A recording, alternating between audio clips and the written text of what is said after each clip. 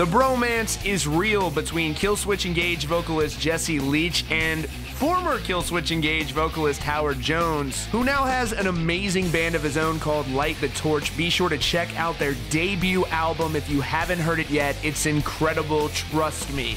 For those of you who don't know the story, Jesse Leach was the original vocalist of Killswitch Engage, but he left shortly after they began getting popular. And then Howard Jones was with the band during the majority of their success, where they had commercial radio attention and they were on MTV and all that jazz, before quietly leaving the band after dealing with some serious mental health issues. But now he is back, he's looking stronger than ever, and he just got up on stage with Killswitch Engage to perform his classic, The End of Heartache. Now, he was invited invited to perform with the band by Jesse Leach, and they have recently connected over the last year, and they've really actually the last few months, and they became really good friends, as Jesse has talked about publicly. I believe Howard has as well. We got video for you here in a second. Unfortunately, it's not the best quality, but hey, I wasn't there, so it's the best we can do. Jesse shared this photo saying nothing but respect for my dude Howard. It was rad to share the stage with him tonight and hear him belt out End of Heartache. What a voice.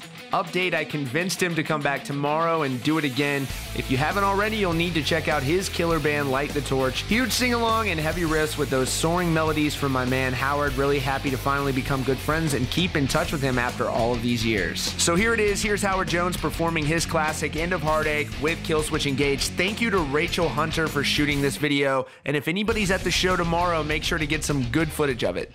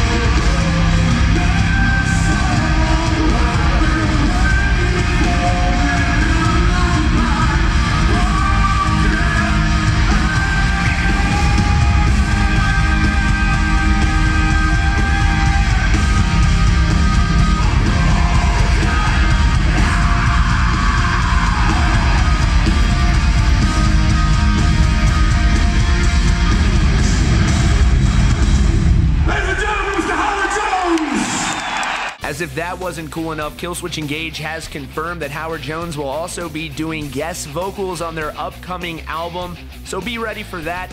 And also, don't forget to subscribe to Rockfeed with notifications on. And you can also join Rockfeed. You become official member, get a verified badge. If you're in a band, we'll play your band on our monthly Q&A. Also, you get access to that Q&A and we'll answer any questions you have about the music industry or bands and current events and all that good stuff. Plus, you get custom emojis if that's something you're into. You can click join on desktop or you can go in the description of every video we have and sign up. It takes two seconds, cancel anytime.